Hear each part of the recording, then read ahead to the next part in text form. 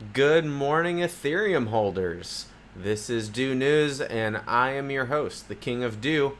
And right now, we're taking a look at the markets and uh, just going to do a quick market recap and update what's been going on. Um, I didn't get to you guys yesterday because the markets were going crazy. There was this pressure building, there's momentum going, um, lots of coins just moving in ways that are not normal. And so um, I got caught up and lost in that. Um, I'm also looking at building some more mi mining machines and things like that.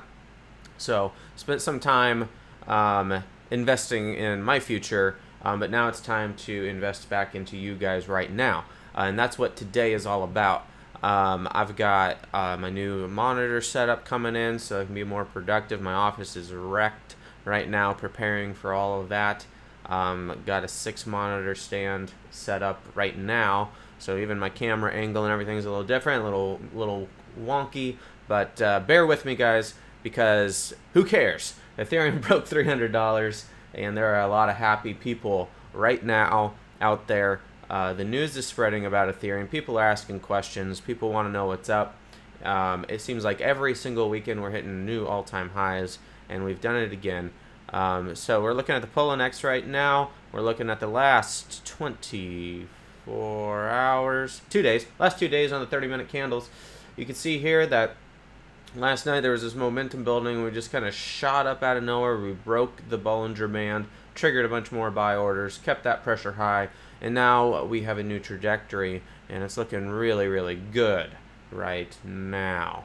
Okay, that being said, um, this is against the BTC, which is a critical indicator of Ethereum basically taking over the world and uh, on its path to dominance.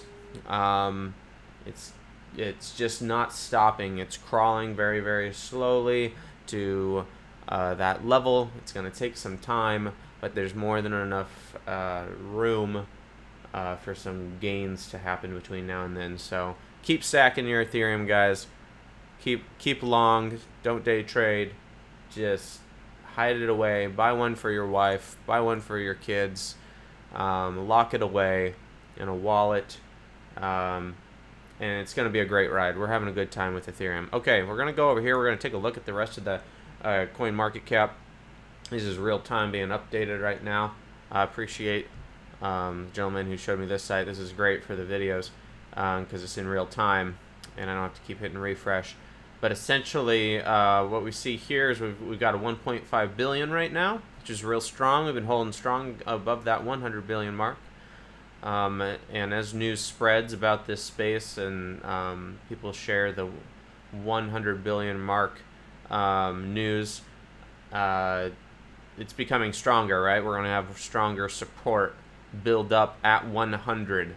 So um, it's starting to feel like 100 might be the new bottom um, for the foreseeable future, um, which is a really good thing if you're if you're concerned about what's going on in the total capitalization. That's just my opinion um, of what's happening um, as we continue to move up. So it looks like here we'll be at 1.6 soon. I wouldn't be surprised if we hit 107 by the end of today based on the amount of volume that's happening right now. Uh, Bitcoin right now is sitting at 2870. Um, we could see Bitcoin respond to the Ethereum move soon. Um, I'm not sure what it would do. I'd, I believe it would like to gain its uh, some of that dominance back because it lost quite a bit, um, and that's pretty normal. And so we might see it uh, creep on up here to the 2900 range. We may be looking for a new all-time high this weekend. Okay.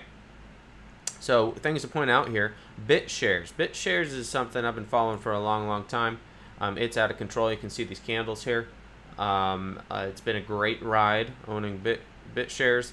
Um, this is starting to look a little too pump and dump. Just my only my opinion.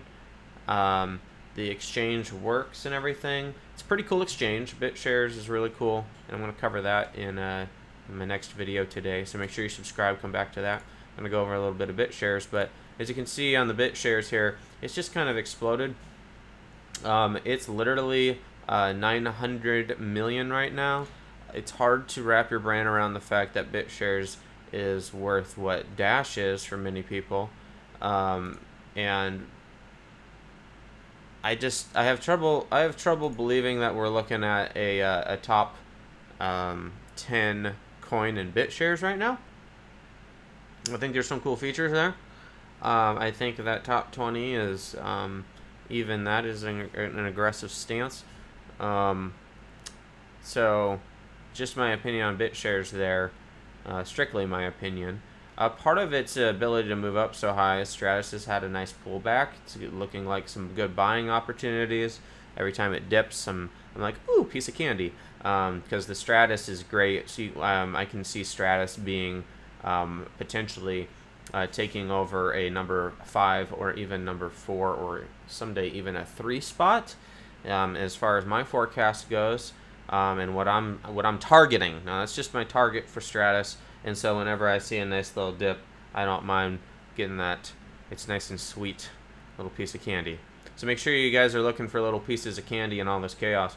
Uh, Waves is having a, a, little bit of a pullback, but not really. Don't forget right now that because uh, Bitcoin has had a, a, a, good run, that everything is a little bit off. So if we actually look, um, we pull back in the 24. Let's get some good candles going here. You can see that we've actually moved up in the last 24 hours um, a little bit. And so uh, you may have some coins that are saying that they're losing money, but they're not. Um, they're probably staying the same in most cases, staying quite level if you're pegging it against the USD dollar. Okay, so um, BitShares. BitShares basically blasted up this chart. Um, at an incredible rate. I'm not sure where all the momentum and the hype is. People are still confused because there's really no amazing news that's coming out about BitShares.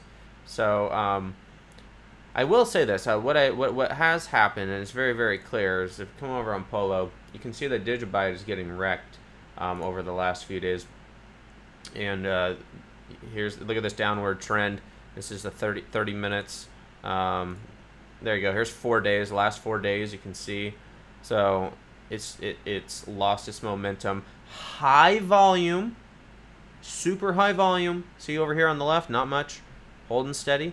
Then high volume in a downward trend. Um, the ride was fun, and hopefully you got off at the top. I hope you guys are paying attention um, to what's going on. But Digibyte's days are over. Um, essentially, there was never really any big news that came out. So I'll talk about that again on my on my next video. But um, what's happening is I've seen this happen before, guys. Uh, when Ripple had its run, money started leaking out, and then Stratis started having a run. Or Stellar, sorry, Stellar. And then Stellar started having its run, and so all this money poured out um, and went into Stellar.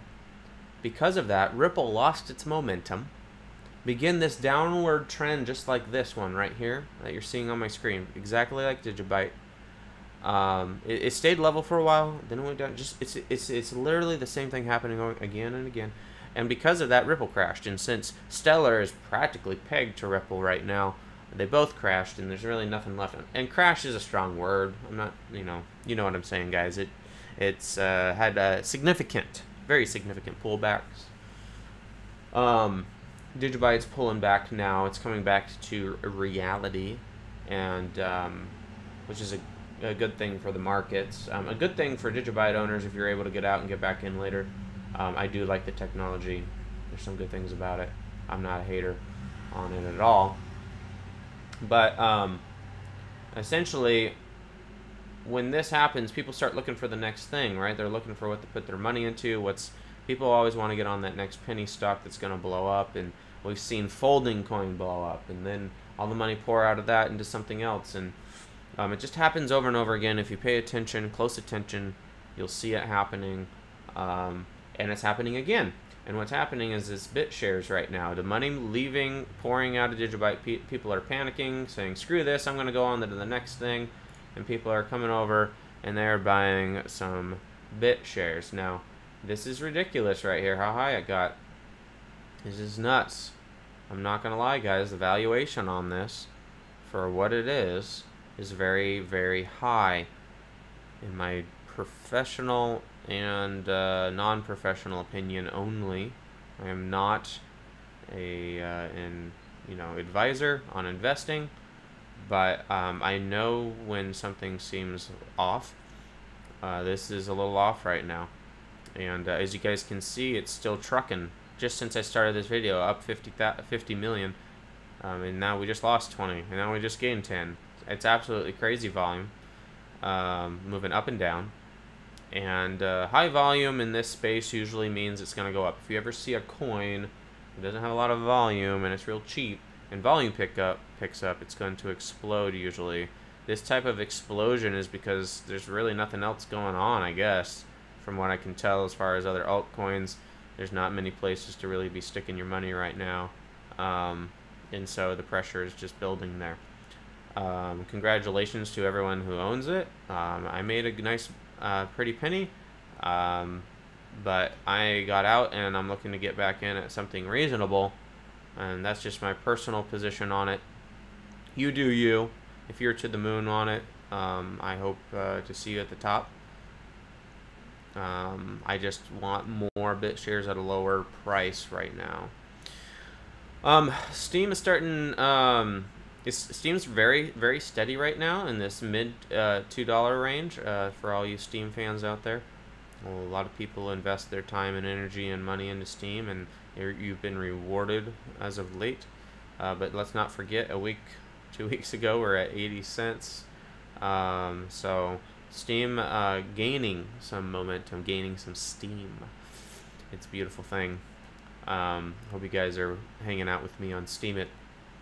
Um, other things I'm noticing, um, Golem, um, guys, is, is practically pegged to Ethereum now. If you guys uh, pay close attention to your Golem holdings against Ethereum, it's just something that you should be looking out for um, and trying to understand uh, why that is.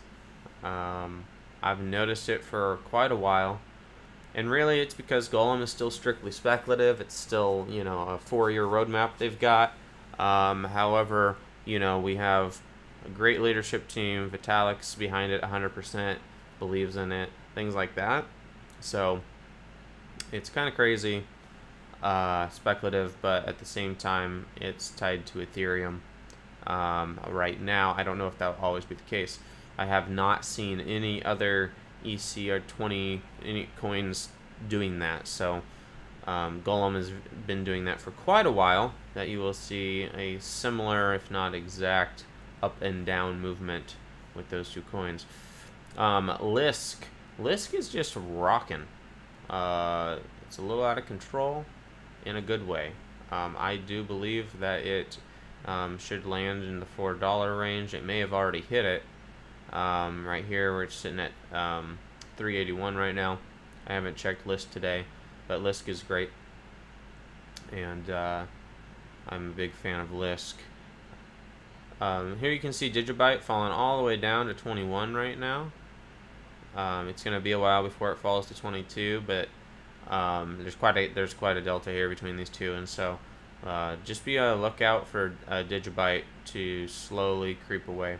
So the question is this: if if if Digibyte is holding the bottom, you know all these coins up above, if, if the big delta between the two is here is the question is which one of these coins here are going to pop next. We've got Gnosis, Game Credits, MaidSafe, uh, Factom, Basic Attention, and uh, Decred.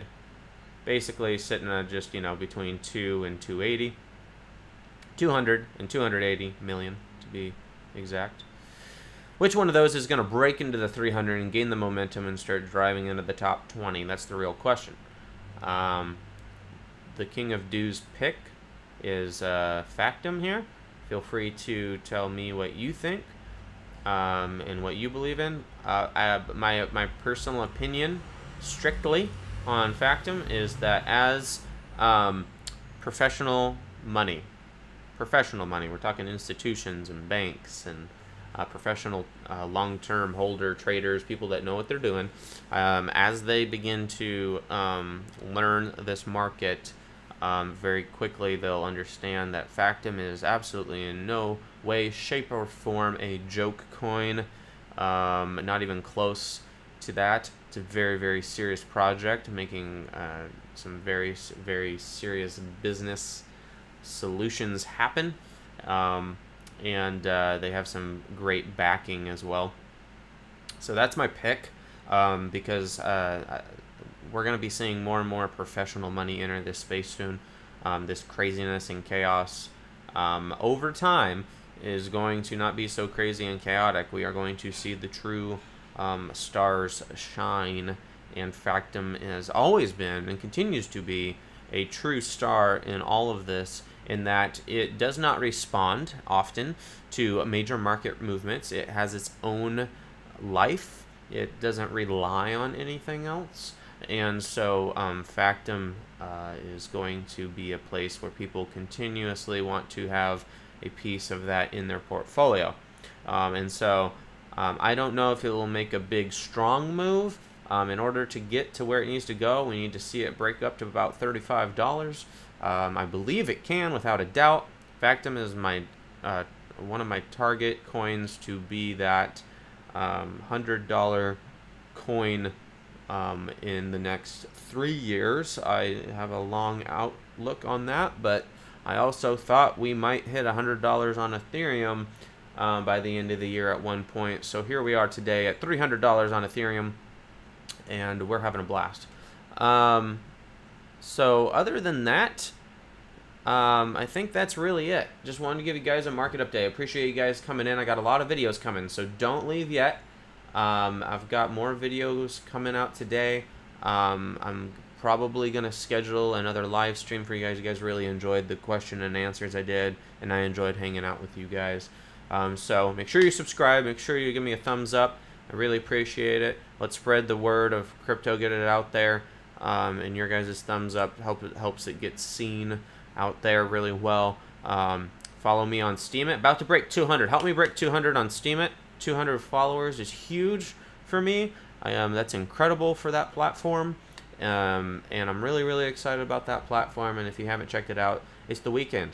Take some time and check it out. It will be worth your time, literally monetarily. You will literally get uh, Steem in exchange for your time, your energy on that platform. And so make sure you guys check that out.